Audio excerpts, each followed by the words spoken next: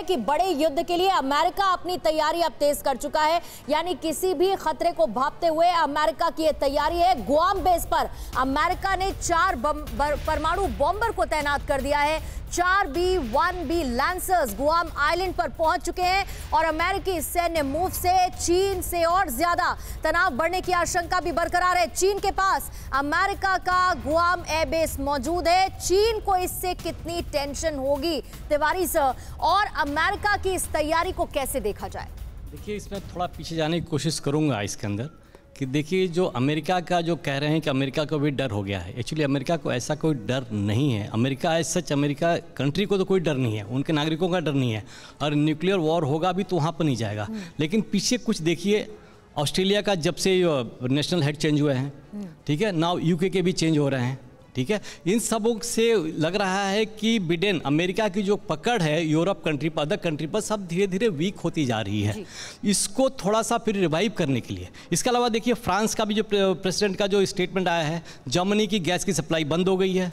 अभी थोड़ा इंप्रूव करने की कोशिश कर रहे हैं। कनाडा ने जो रिपेयर के लिए कहा था वो रिपेयर कर दिया है। इट मीन्स जो रशिया जो यूएस का जो रशिया के तरफ़ डायरेक्ट था कि हमें इतने एम्बार्गो लगाने हैं ये अमेरिका का स्ट्रैटेजिक मूव है। ये अमेरिका का स्ट्रैटेजिक मूव हाँ, तो है क्योंकि हमें ये नहीं भूलना चाहिए कि गुआम एयर बेस है अमेरिका का जहाँ पर वो अभी तक डिप्लॉय करता आया अपने इन हथियारों को। इस बारे में और चर्चा करूँगी। I am sorry to interrupt you in between sir लेकिन बड़ी खबर ये है कि चीन से भारी तनाव के बीच अब अमेरिका के बड़े सैन्य एक्शन को लेकर यह बड़ी खबर आ रही है जहाँ यूएस ने ऑस्ट्रेलिया में तैनात किया है परमाणु bomber B two Spirit. Australia वायुसेना के अम्ब्रेले एयरबेस पर इसकी तैनाती को लेकर यह बड़ी खबर आ रही है और जिस तरीके से हम लगातार चर्चा कर रहे हैं यह बड़ा सवाल है कि अमेरिका का यह किस तरीके का स्ट्रैटेजिक मूव है, क्योंकि यहाँ गुआम एयरबेस पर अगर अमेरिका कोई डिप्लॉयमेंट करता है तो उसके कई मायने हैं। समीर? बिल्कुल सही बात है और यही वजह है कि इस खबर के सामने आने के बाद पूरी दुनिया एक बार फिर चिंता से भर गई है, क्योंकि जिस तरह से लगातार रूस और यूक्रेन की जंग जारी है, अमेरिका और तमाम नेटो कंट्रीज़ यूक्रेन की मदद करते हुए नज़र आ रहे हैं। यह आशंका तो बनी थी, लेकिन जैसे जैसे युद्ध लंबा खिंचा, कहीं ना कहीं इस तरह के तनाव के आसार कम होने लगे थे। लेकिन अब अमेरिका की जो तैयारियाँ सामने आ रही हैं, उसने एक बार फिर बड़ी आशंकाओं को जन्म दे दिया है। आइए अब जान लेते हैं कि अमेरिका ने बी टू बॉम्बर की ऑस्ट्रेलिया में तैनाती पर क्या कुछ कहा है?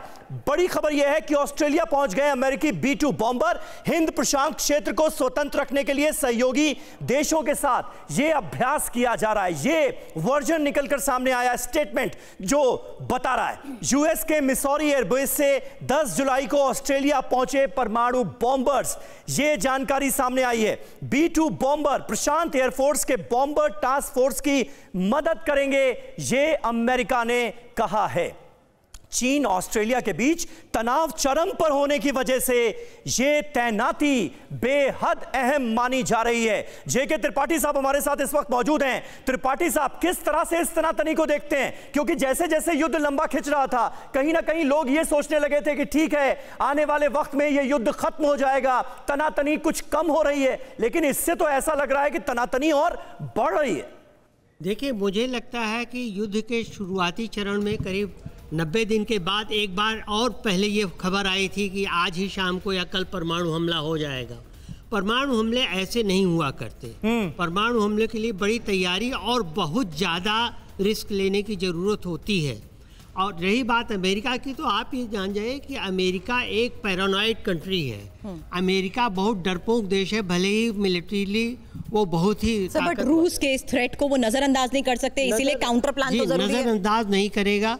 और दूसरी चीज़ जो आपने वीडियो दिखाया डेढ़ मिनट का मैं नहीं जानता कि इसकी डेट लाइन क्या है ये कब का वीडियो है कुछ इसकी डेट लाइन है कि नहीं है हम्म। लेकिन ये हर देश अपने नागरिकों के लिए सुरक्षा का है लेकिन सर हम देख रहे हैं कि टेंशन का माहौल बना हुआ है और इसी टेंशन के बीच में जहाँ पुतिन एक और परमाणु हमले की धमकी दे रहे हैं और इसी हमले के बीच अमेरिका अपने नागरिकों को अलर्ट कर रहा है कि कैसे आप एटमी हमले से बचे। तो कहीं ना कहीं कुछ तो खबर अंदर खाने से समझ में आ रही है।